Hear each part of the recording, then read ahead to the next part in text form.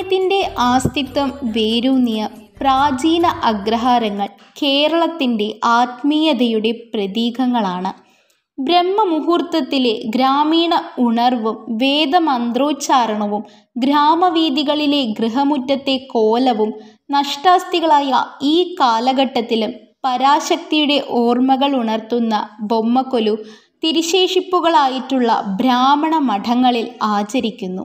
തിന്മയെ നിഗ്രഹിച്ച് നന്മയെ നൽകിയ നവഭാവങ്ങൾ പൂണ്ട ഈ നവരാത്രി മഹോത്സവം അജ്ഞതയുടെ അന്ധകാരം നീക്കി അറിവിന്റെ വെളിച്ചം നിറയ്ക്കട്ടെ.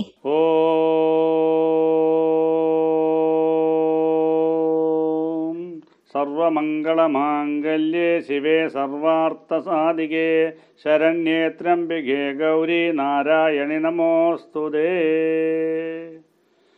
നവരാത്രി ഉത്സവം നടന്നുകൊണ്ടിരിക്കുകയാണ്.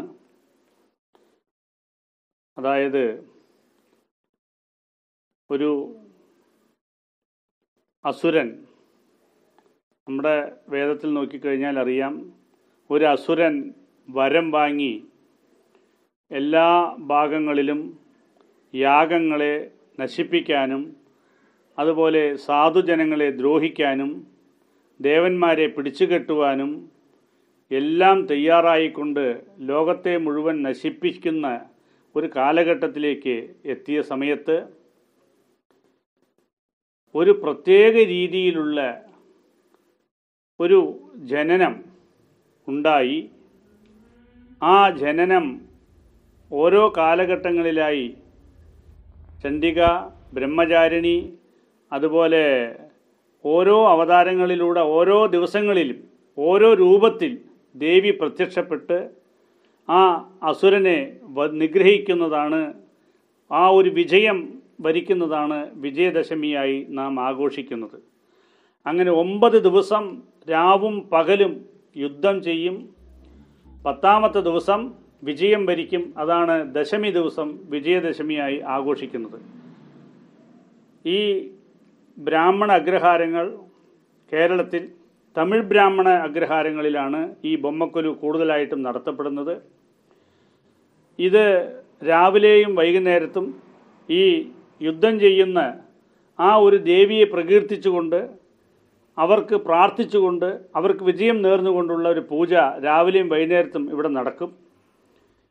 ഈ ഒമ്പത് ദിവസം യുദ്ധം ചെയ്ത് കഴിയുന്ന സമയത്ത് നിർത്തിയിരിക്കുന്ന ഈ ബൊമ്മക്കൊലു അല്ലെങ്കിൽ ഈ ബൊമ്മകൾ മുഴുവൻ പത്താം ദിവസം നമ്മൾ അവരെ ഉറക്കും. ഒരു ദിവസം അവർ ഉറങ്ങണം. ഈ പത്ത് ദിവസം രാവും പകലും യുദ്ധം ചെയ്തതിന്റെ ആ ഒരു ക്ഷീണം മാറാൻ ഒരു ദിവസം കൂടി ഉറക്കിയ ശേഷമാണ് നമ്മൾ ആ പെട്ടിയിലെടുത്ത് വെക്കുന്നത്. ഈ തമിഴ് ബ്രാഹ്മണ സമ്പ്രദായത്തിലാണിത് ഉള്ളത് തമിഴ്നാട്ടിലുണ്ട്. അതുപോലെ ഞങ്ങൾ തമിഴ്നാട്ടിൽ നിന്ന് ഇവിടെ വന്ന് ഉള്ള ആൾക്കാരായതുകൊണ്ട് തമിഴ് ബ്രാഹ്മണരുള്ള എല്ലാ ഭാഗങ്ങളിലും ബൊമ്മക്കലുണ്ട്. ഇത് വളരെ വിശേഷമായി ക്ഷേത്രങ്ങളിൽ വേദപാരായണം അതുപോലെ നവകാഭിഷേകം ഭഗവാന് നടത്തിക്കൊണ്ട് അത് വളരെ നല്ല നിലയിൽ തന്നെ നടന്നുകൊണ്ടിരിക്കുന്നുണ്ട്.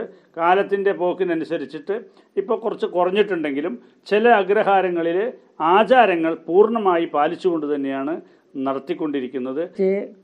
ലളിതാ സഹസ്രനാമം ഒക്കെ ജപിച്ച് ഒക്കെ പൂട്ടിട്ട് ദിവസം രാവിലെയും വൈകുന്നേരവും നൈവേദ്യം വെക്കണം എന്തെങ്കിലും പാലോ പഴവോ ചുണ്ടലോ ഒക്കെ കൊടുത്തിട്ട് വരുന്നവർക്ക് സുമംഗലികൾക്ക് വെത്തലയടക്കാൻ മഞ്ഞൾ ഈ പ്രസാദം കു- കുങ്കുമച്ചൊപ്പ് ബ്ലൗസ് പീസ് ഒക്കെ കൊടുത്തിട്ട് അവരെ സന്തോഷിപ്പിക്കണം